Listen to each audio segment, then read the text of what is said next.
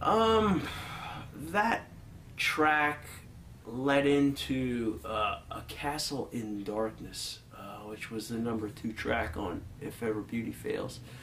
Um, eh, oddly enough, later in later years, uh, and, and throughout the the mid and late '90s, for Savior Sect, we would come to be known as more of a, a, a vampiric gothic act.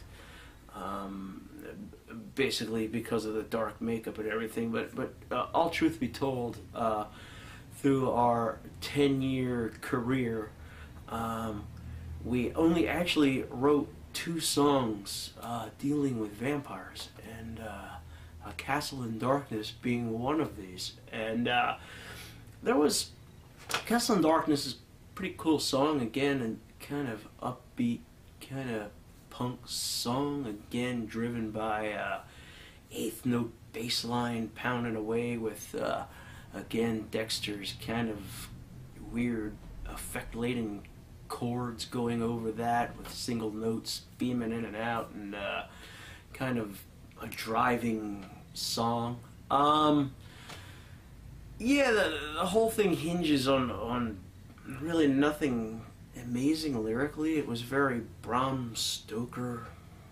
Dracula oriented type of thing. It was uh, more of a, a, kind of European type of Romanian vampire type story with the high towers and burning wires strapped between them and uh, you know vampires hunting in the night and all this other type of stuff and the whole vision of the castle in darkness. Uh, uh, the whole thing was, was basically, you know, kind of hammer film type atmosphere, really uh, tongue in cheek in, in essence. Nothing gruesome about the song, or, or just basically, vampire is not really even playing a huge role. It was more uh, a venture through a landscape that was uh, conducive to vampires. And um, again, it, it, it was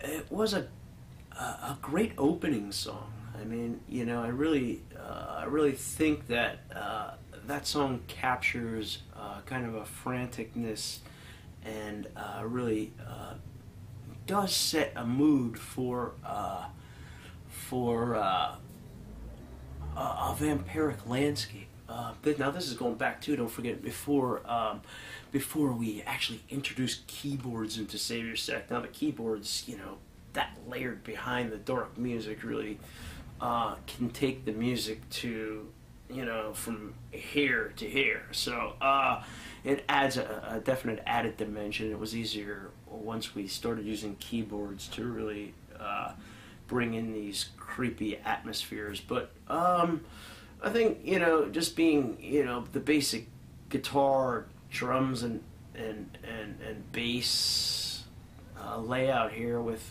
uh, no overdubs on the vocals. The uh, the song actually uh, kind of stands on its own as far as uh, uh, an atmospheric piece. Is again very very accolades go out to Dexter with with his imaginative guitar work and, and the, the, the, effects that he used on the guitar to really capture that as he uh, uh, played um, ec with excellence throughout the entire demo.